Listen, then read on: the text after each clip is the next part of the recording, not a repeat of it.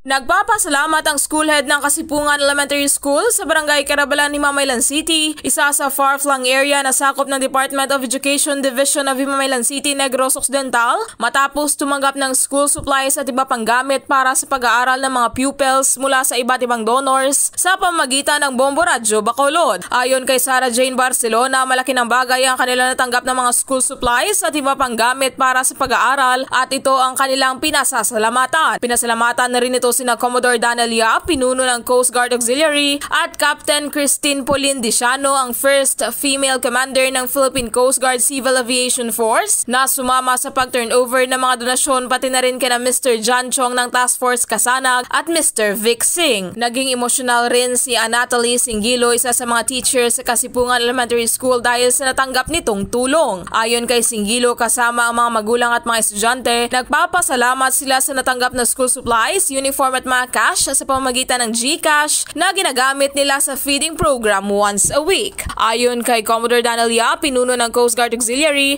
malaki ang tiwala nito sa Bombo Radyo at hindi lamang passion kundi dedikasyon na ng mga ito ang pagbigay ng tulong sa kanilang mga counterpart sa Philippine Coast Guard at Philippine Coast Guard Civil Aviation Force. Ang Kasipungan Elementary School ang nasa mabukid na parte ng barangay at dalawang oras ang biyahe sa habal-habal mula sa barangay proper. Mahirap ang sitwasyon ng mga estudyante sa lugar dahil dahil wala silang kompletong uniform, walang mga school supplies at wala rin masyadong pagkain. Kung minsan plastic na lamang ang ginagamit nilang sisidlan ng mga notebooks dahil wala silang mga bags. Ang nasabing paaralan ang nakatanggap ng bags, school supplies kagaya ng ballpen, lapis, papel, notebooks, pencil cases, erasers, rulers, vitamins, dilatas, new clothes at reading glasses para sa mga magulang. Ang Kasipungan Elementary School ay may kabuang 77 mga pupils, 7 regular teachers at dalawang CTP grade literacy teachers. So, ano, damo kami naka-line up na activities with Aval Auxiliary and we're working on the uh, donation of land for the strategic deployment ng aircraft naman namin sa future. So,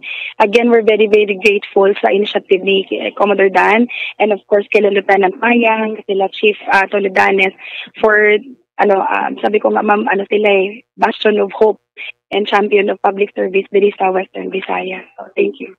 Para sa Bombo Network News, ito si Bombo Jairi de los Reyes para sa Pamasang Radyo ng Pilipinas, consistent overall number 1 sa Bacolod. Basta Radyo, Bombo!